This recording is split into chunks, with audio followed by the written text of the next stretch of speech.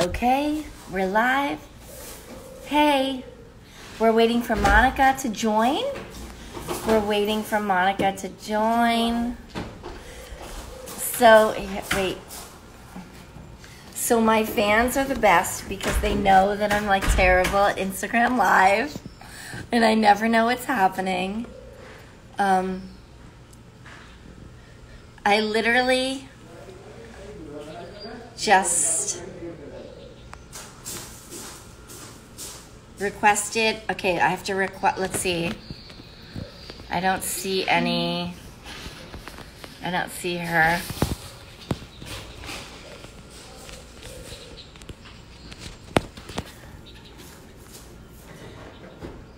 Hey, everybody. Wait, but there's so many requests to join. So, you guys, so I wanted to go live tonight because my friend Monica Raymund has a show named Hightown, and I love this show so much. It was filmed in my hometown. I mean, not literally my hometown. It's it's filmed in P Town, and I grew up in Boston, and I spent a lot of time in P Town as a, a young adult, uh, turning up and acting crazy, and. Um, when I saw I first saw this pilot, I was like really excited to watch it. And then I saw that it was Monica's show. So I reached out to Monica and I was like, I love your show and I'm so excited and we've been talking and I wanted to go live tonight um, for the finale. So let's see, is Monica with us? I don't see her. Do we see her, Shelby? So she's requesting. Oh my god, look at all these requests. Won't she, she'll come up as a. Yeah. Thank you for It your patience, everybody. so Is she requesting? Yeah, so okay. let's view again. View. Monica Raymund's, here she is.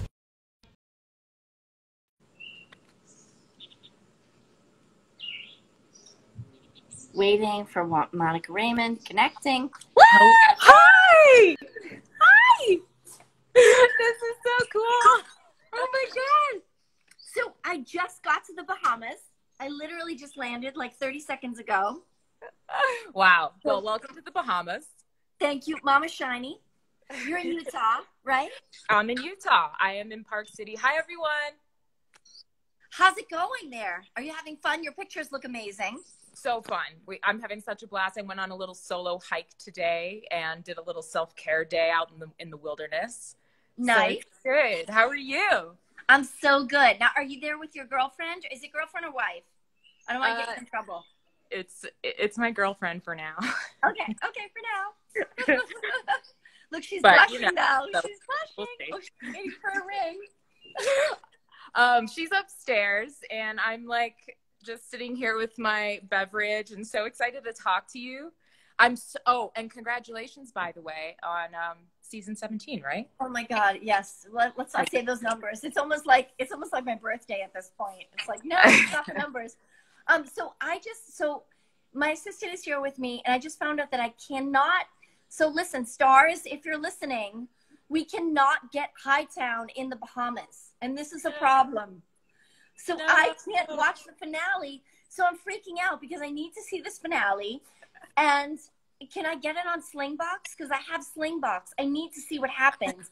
Wait, please tell me the actor's name who plays Osito because he is ridiculous. So good. His name is Atkins.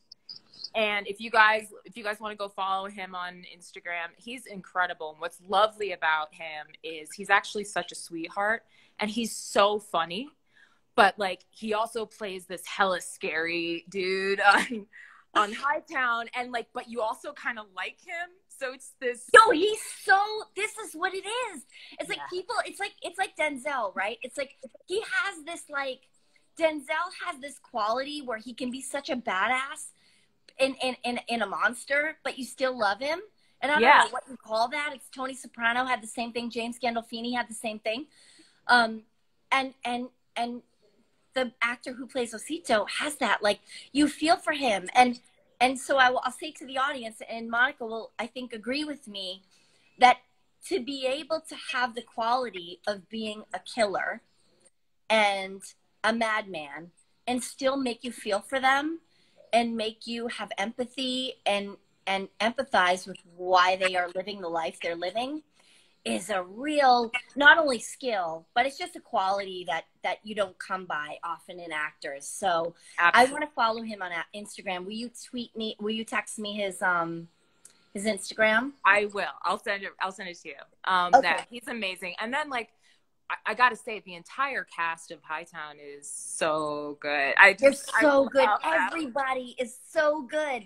So and I'm good. so sorry. I just got off a flight and like, so I'm like not good with everybody's character names and everybody's real names, but I mean, big up to all the cast because the cast is phenomenal. And who's the actress who plays um Renee? Yes. The stripper. Her, so yes. her name is Riley, Riley Voelkel, and she I was texting her all the last six weeks because I was like, every time you are on screen, she just blows me away. And she's playing this character, you know, she's a stripper by day. She's, you know, sleeping with the like the jug pin guy. And then she also has this such a vulnerability to her where she's falling for Badge's character, Ray Abruzzo and this like this character when you get a character like that where they get to play six seven eight different shades of of who they are it's just again like what we were talking about with atkins it's such a testament to her skill i mean truly I, am not even it saying really that is. like bs like i really am shocked and so so impressed by her like being able to just be like that bombastic as the stripper and then yeah. like being this soft, amazing mom at night. It's so cool. Whew, I get yeah. excited. Tell me her name again. Sorry. Tell me her name. Riley. Again. Riley. Her name is Riley. She is incredible. And I have to tell everybody who's watching, like, if you think that's easy, I'm sorry to get up there and play a stripper, take your clothes off, kill it, be sexy. It's that's not easy. There's a crew watching, there's lines, there's blocking, it's not easy to do that. And she literally crushes every scene and she pulls focus in every yeah. scene. And who's Ray Abruzzo, hottie? Super okay. Hottie. Oh, you like him? Yeah. Yes, okay. I love him. And I don't go for white boys much, but he's a cutie. yes. Oh, right. James Badge Dale is his name. And okay. he is such a badass. You know, he and I met at the boxing gym. That's how we met each other. We had both been cast on this show and I was at my gym in New York and he was there and our trainer was like, "Oh, she's on Starz. Aren't you on a Starz show?" And we were both like, "Oh shit, we're on the same show." and so we've been best buddies ever since. Um, he's amazing. James Badge Dale. Wait, is, is James not from Boston because his accent is on point? Yeah, he. It, it, uh, I don't think he's. I don't know. I don't think he's originally from there because I know he was practicing the dialect the whole time. He's so, really good. His accent. Yeah. I'm super. So I grew up in Boston, and I spent you know my young adult years going to P Town with all my friends. Cool. And um, and his accent is amazing. Yeah, I'm gonna let him know you said that. I'm gonna. Jeez. I literally because he was so freaking out about it. It was driving him crazy. I'm sure. Yeah, it's and listen, it's a really hard one.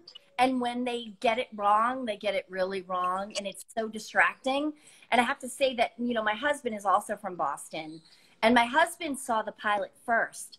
I hadn't seen any, um, you know, trailers for the show. And my husband was like, I watched this new show last night called Hightown. It, it takes place in P Town. The pilot was amazing. I really want you to watch it with me. So I was like, okay. Wow. So then I watched it. I was like, wait a minute. That's for Monica. That's Monica. And I was like, I'm watching the show. Like, this is amazing. And um, and everybody's accent, everybody does such a good job. Um, yeah. It's really obviously been on a you know show myself for 16 seasons. I'm pretty cynical about television. I'm a uh-huh. pretty cynical TV watcher, and you guys are just. It's such a good show. The writing, oh, the acting.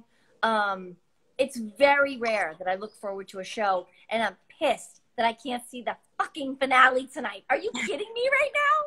Like you can't the finale. You can't go online because you're gonna get so many spoilers. You're gonna have to oh figure out how to see it. Well, my husband has Slingbox, so I think I might be able to watch it okay. on Slingbox. Well, so I haven't seen the finale either. Um, and I thought that maybe I would go live while I watch it here tonight if people want to hop okay. over me when we're done because I haven't seen it.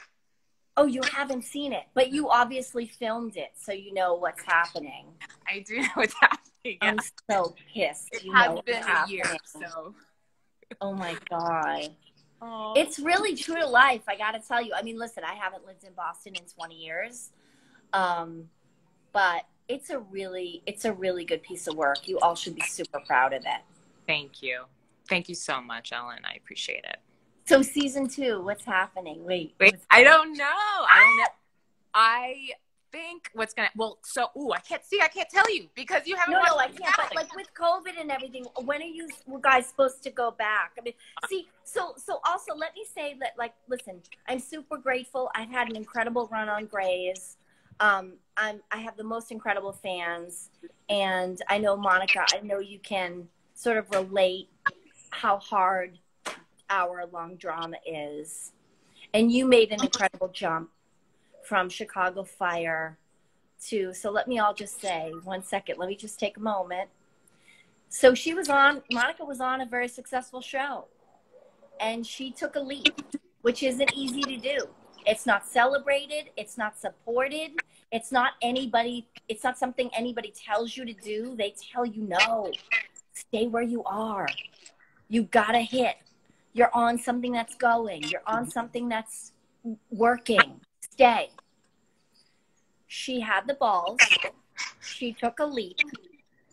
And this is what happens when you take chances. And I'm so happy to see you thriving and shining and so successful.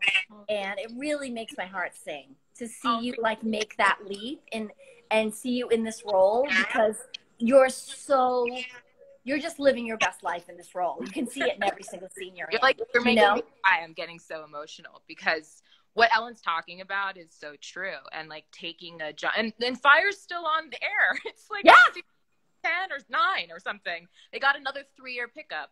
So taking that jump is it's scary. scary, man. It's so scary, and like, but it, it, did take some balls, and I was really scared. But it was such a, a moment where I just had to believe in myself, you know, like that's when you really show up for yourself, right? If you're like, well, nobody's really supporting this, but I know that I have to do this and I don't know why. So I'm just going to like jump off the mountain and see if I can fly. Right.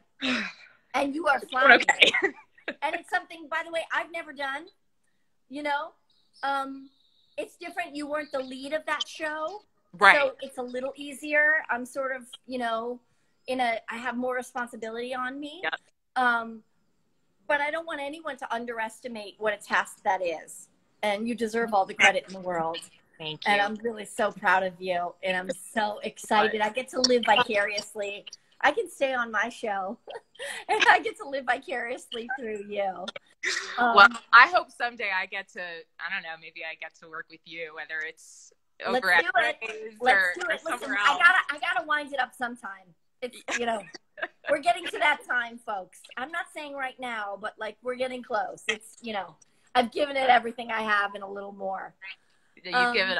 It's so amazing. talk to me about what are the, what are they saying to you guys about COVID and about season two? If if you can share anything. Sorry, yeah, I don't really I don't really know much actually. I mean, we have a season two, so that's cool.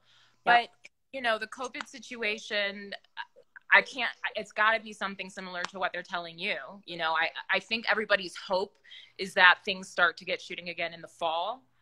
But, you know, as you all know who are watching this, I mean, the news changes every 10 minutes. Um, you know, I think if, if we could be shooting yesterday, they would. Because right. Star loves the show so much. But I think we're going to see late fall. Um, that's my guess. But it could be even later. I don't know. Which will present challenges and it'll sort of have to work into the story because I'm sure, as you all know, so Provincetown is the, the, the southernmost tip of Massachusetts. And um, there's a lot, it's cold. You know, it's going to get cold there. Uh, in October, it's going to get cold, which will add like so. You guys shot season one in the summer, I'm guessing. That's right. We shot it in yeah. season one in the summer, and then in some in season two, I think the winter element is going to be part of the story. It would have to be, which is also really interesting because you know I've never spent any time in the um in the winter in P Town, but I definitely on the vineyard on Martha's Vineyard. I definitely have been there like in September and on the Cape. Um, Mm-hmm. you know, even in September, like it literally after Labor Day, it just closes up. There's just no one there. It's everyone's gone. So it it has this like eerie, you know, this different eerie vibe, Yeah. which is I think really cool for storytelling. so cool for storytelling and like kind of also the way it, it looks i've never been there either but what i've seen in photographs i think it'll photograph beautifully but because the story is so centered on like the locals there and what happens when all the tourists are gone it's going to be the perfect backdrop for like m- more crazy shit to happen Yeah, Um, so i'm excited and it will be cold but i've been in chicago for a long time right. You I can deal. cold. Sure. yeah. I love these comments. People are like, I'm literally screaming. You guys are the best for following us, for loving us. We love you right back. love you so much this is so cool Um, This is so cool that this we is my get first to sort live. of it's for Monica's first live, and we get to share fans, and you are supporting us, supporting each other, and that means a lot to us because that's what women should be doing. Brazil, what's up, Brazil? Hola. Chile, Ooh, Peru, hola. ¿Cómo están? Colombia. Yeah, this is what I'm talking That accent is amazing. hola, Wait, so wait, so I gotta tell you something. So so let me so let me ask you a let me ask you a question. Yes. About the about the uh the lesbian culture. Can we talk about lesbian culture for a moment? sure. Yeah. Yeah, bring Because- it on. Okay. So, because because now I'm a mom of three, right? And I, I haven't been in the clubs in a minute. Mama hasn't been in the clubs in a minute. Mhm. So I noticed, I said to Chris when we were watching a couple of weeks ago, because the show wasn't on last week. So the lesbian, the girl that works at the bar at the tea dance. Mhm. Now, when I was hanging out at the tea dances in P Town, and I've hung out at the tea dances in P Town, Uh-huh. never would the girls be mixing with the guys. Now, see, all you youngsters, this is this is here, and Monica's much younger than me, but this is where our generational shit comes in, right? Right. And all of all of you kids who are so woke, and we love you, and you're transforming the culture and transforming conversations that we're so grateful for. But when I was at the tea dances, it was lesbian clubs and gay clubs. And you didn't see a lot of mixing. Mhm. And in that scene, when I see a girl bartending at the tea dance, I'm like, oh, th- this is, you're probably too young to know that this is a whole different vibe than 20 years ago. I'm like literally like dating myself, but that's okay. Yeah, no. I mean, I think you're right. It is a different vibe. I haven't been to a club in a minute either. Um, Because we work. Because mama, we 'cause work. we we got it. we got to bring it home. We got we got to make that money. And I I do know that I think one of the oldest lesbian bars like in the country is based in Provincetown. And it's still there. I don't know what it's called. Maybe our fans will know it, but it is like a staple of P Town, like one or these one or two lesbian bars there. And you're right, it was like so separated for so long right. but now because um, inclusion because of the conversation of gender um, and sort of seeing this intersectionality between um, non-binary and however however people want to identify and sort of the conversation of what gender is now um, between like uh, queer folks and heteronormative. And so the, the the conversation is so much more complex in a way that liberates us because now we're beginning to see where we can present how we feel inside. And that's such a new new frontier that that these that the, this generation is really like bringing to the forefront which i'm so grateful for um, so maybe that has something to do with it you know it's like sort of becoming one um, I don't know. It's it's so beautiful too. I, I yeah, I, love- I, I really I, I really loved it. Um, when when I see those scenes, I'm just like, I love these kids. I love this new generation. I love the acceptance and the and the oneness of the community. Because when I grew up, and I did grow up in the gay community, there was a lot of sort of, you know, there's the gays and there's the lesbians, and we don't fuck with each other Mhm. you know and it was always really confusing to me as a straight person um, but i just i love just watching it all i love watching these new generations of kids um, embrace each other and you know so i got one one year in p-town my last year that i was in p-town i think i went to p-town like three summers um, and i would only go for a couple days at a time and i was in madonna drag I was I was in I was in Madonna I was in Madonna Vogue drag yes. and I got carried down the street by by a group of girls. I literally got like Yeah. kidnapped and like carried down the street. It was amazing. That's I was a little scared. I was a little scared to be honest. I didn't know where I was going. You were the hottest girl on the street. I was like lip syncing on a rooftop. I mean, um, and I remember, so my friend Chip, I was with my friends Chip and, and Desi, and my friend Chip was holding me up. And I, we were on a rooftop, and I had so much sort of like, I was all oiled up, and like I had so much like body makeup and oil on. And I remember him holding me up, and I was so slippery. And I was like, this is how I'm going to meet my end. I'm literally going to fall off of this roof. He's, gonna, he's probably, he was probably high on whatever he was on. Uh-huh. And he was holding me up, and I'm lip syncing Madonna. And I'm like, I know he's like, my skin is too slippery right now. This is not going to be good. I am going to fall off. But what a Fall fabulous way to go. If you had Um, I just mean, like a damn prayer. just like a damn prayer. I had a lot of I had a lot of fun in P Town. I really did. I love that you guys are sort of telling stories in that town because it has Yeah. such a rich history for the culture, and um, and the opioid crisis is a huge um, epidemic and amazing to shine a light on that also. So Yeah, it's it's something that is kind of near and dear to me as well, and unfortunately, um, and that was such a big reason why I was so attracted to the show as well, is because here's an opportunity to tell it like it is, and you know it's so normalized, and and, and it shouldn't be. It should be shocking and and bombastic and scary and in your face. You know, like this is what happens when people are uh, in this disease of addiction. So and and also from like my character's point of view her being an alcoholic and having to deal with with sobriety and what that is. And so there's a, lot of um, conversation about that that's like at the front of the show which i love because it just uh, affects um, almost everyone in this country you know unfortunately. But I'm really passionate about that and talking about the opioid epidemic and talking about addiction and mental health um, because like the show is full of these flawed characters who are addicted to something in some way. And we get we sort of see the, the tragedy that comes from it you know?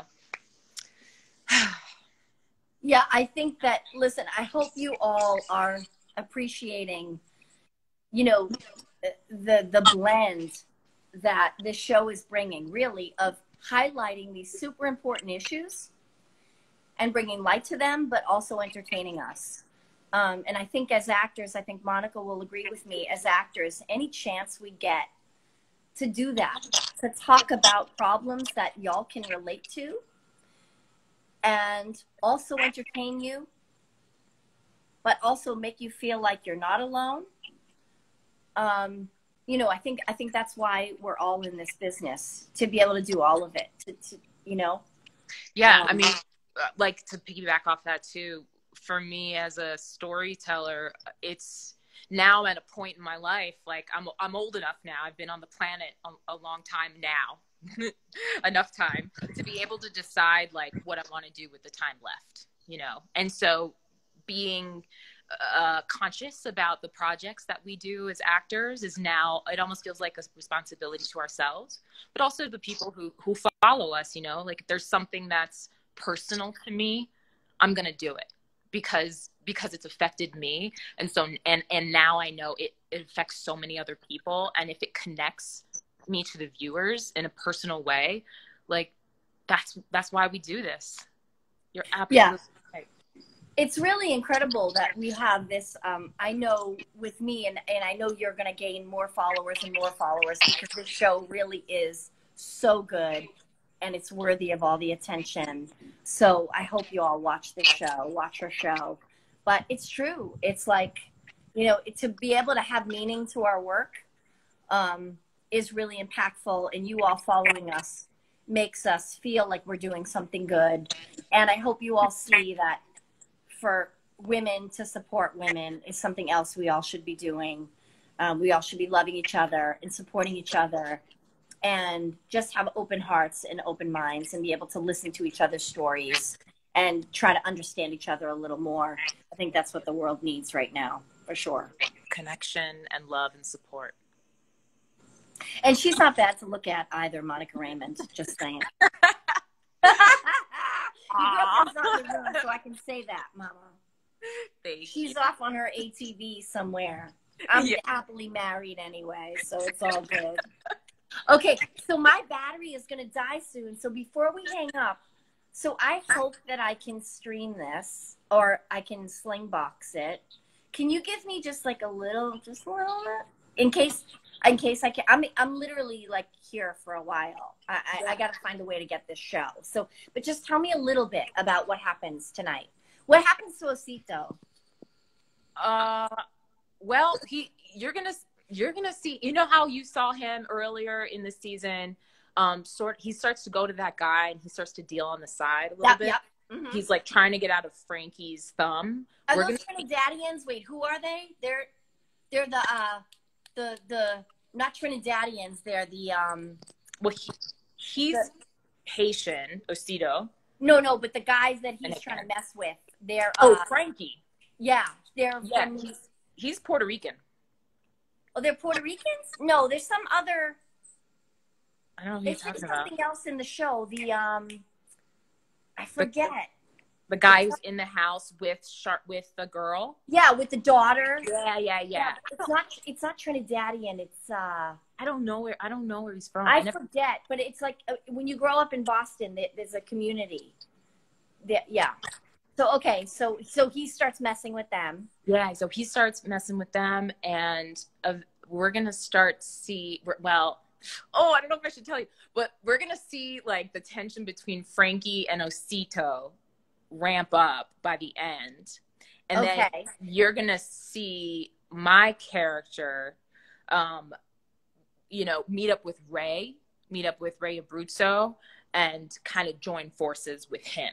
I love that. And we decide, you know what, yo, we're going to go after Osito. Fuck this. Let's get this guy. We have enough. So we go after him. Um, something scary happens to me. And then by the end of it, like I'm all in. Ray Ray's all in, but he's kind of like on the outskirts now. But I'm like knees deep into the into the uh, department, and then I at the very end I see that I'm gonna have to be dealing with Frankie like one on one. I know that's all I could say. Oh my god. Okay. that's super scary. So I want to have a proper send off before my battery dies. Um, I love you so much. Love you too. Thank, Thank you, Thank you for doing this for me. Um, I'm so excited. I'm like a super fan. this is crazy because I'm a super fan of you. Um, and uh, and and I'll text you tomorrow. Okay, cool. Okay, I hope you all watch the show. Please download the show. Watch Hightown on Starz. These people, all of them, are working their asses off to entertain you, and it's really it's such a good show. Um, and I love them all so much. So thanks everybody for joining our live. Thanks everyone. Thank you so much, Ellen. Thank you, Monica. I love you. Have a good weekend. Bye. Bye bye.